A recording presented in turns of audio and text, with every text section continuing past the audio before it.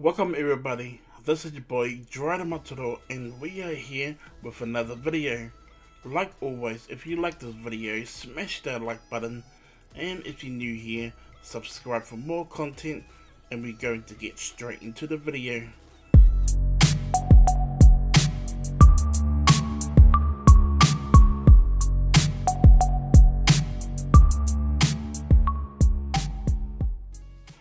Welcome back everybody. Now before we do get straight into the video, I would like to give a big shout out and thank you to the supporters of this YouTube channel.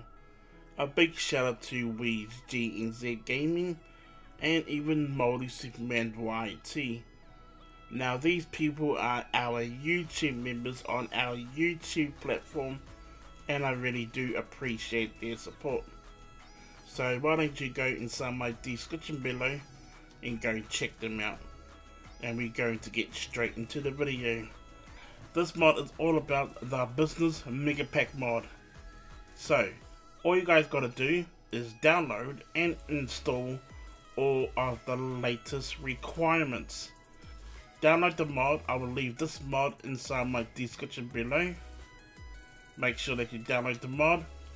This mod does require enable all interiors I will leave this mod inside my description below.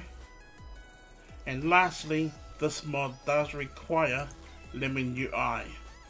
Now when you go to Lemon UI, you will need to download version 1.5.2. Make sure that you do download this version over here. Do not download the latest version over here.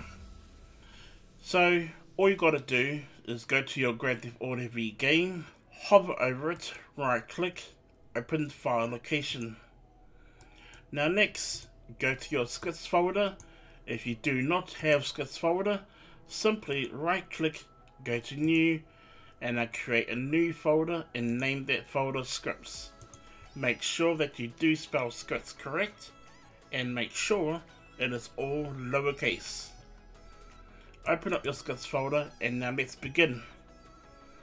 Now firstly, open up your Lemon UI extract folder. Go to your SHVDN3 folder. Select all the files and drag it inside your scripts folder. Next, go to your SHVDN2 folder. Select all the files and drag it inside your scripts folder then exit out of your extract folder. Second, open up your enable all interiors extract folder. Select all the files except for the lemon download.txt file. And now drag it inside your scripts folder and exit out of your extract folder. Now lastly, open up your business mega pack extract folder. Go to this folder go to your scripts folder.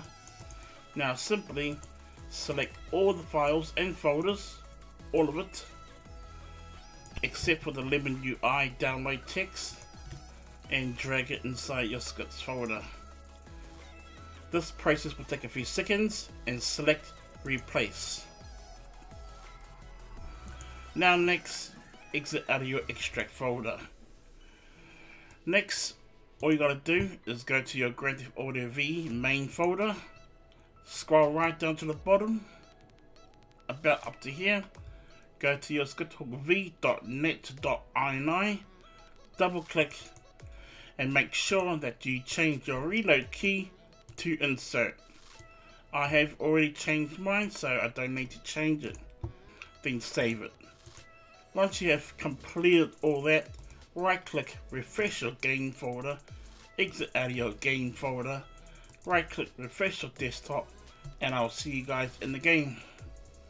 And now we are here with Franklin. So when you come into the game, okay, your game might freeze, okay, so don't worry, just let the game load, and then now you'll be back to normal. So once you're in the game, there's a few things that you must do first before you do anything go to your contacts.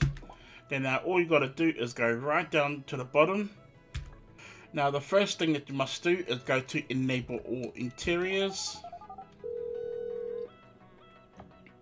go to change an interior and now you can choose which business you want enabled. Now for the video sake I'm just going to do the executive interiors. Now make sure that you do have them all like enabled to true, okay? Like warehouse garage, true, large garage, true, and etc, okay? Once you have all your business on true, then now you can back out to your main menu, then go right down to the bottom to MISC options. Now make sure you have enabled markers on true Make sure that the load MP maps is on true. And really important, make sure that your enable blips is on true. Right there. And now this is optional, but make sure that your random color blips is on true as well. Like I said, it's optional. Now back up to your main menu and now go to refresh interiors wait for a few seconds, then exit out of your menu. Now go on your keyboard and press insert. Now your game will freeze for only a few seconds or a minute, it depends on your PC performance. Now once your game is back on, as you can see it's all loaded. The second thing that you must do is go back to your phone, go to your contacts, go right down to the bottom then go to Business Helper. What you need to do now is to buy the business. So go to Purchase a Business. And now the business that I enabled was the Executive. So I need to go to Executive Business and I need to choose my location. Um, I'm going to choose the Mazebank Tower. There you go. I bought the Mazebank Tower. Now I've got full access to that business. So I will see you guys at the Mazebank Tower. And now we are at the Mazebank Tower. I drove here on my car and now you'll see the grey dots over here. So once you are at your location, just go closer to the dots. Then now you'll see this little view and now press E to enter the, to the office.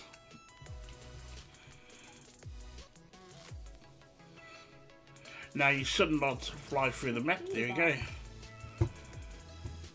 And then uh, she will sit down right there. So everything works, okay? You can sit on the seat, you can start a mission. I have already tested all the missions, everything works. Go to your seat, press Q, and now you can press E on your keyboard and now you can start your mission you can go passive mode options. You can um, change organization. Uh, yeah you can change the name of your business change the design and etc uh, but I'm going to leave everything as default. You can go to business upgrade and now you can purchase your garage. Whatever garage you want okay? You can purchase a mod shop or a level 3 garage and then you can upgrade everything over here.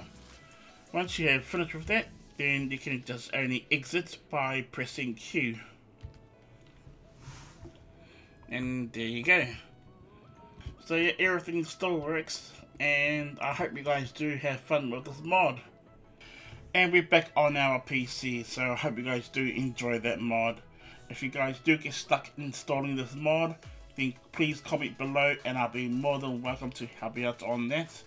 Or if you do get stuck installing any other mods like GTA V or Cyberpunk 2077, then I'll be more than welcome to help you out on that as well. With that said, if you guys did enjoy this video, or if this video was helpful, please smash that like button and subscribe for more content and tutorials and I will see you all on my next video. Thank you for watching, peace, and I'm out.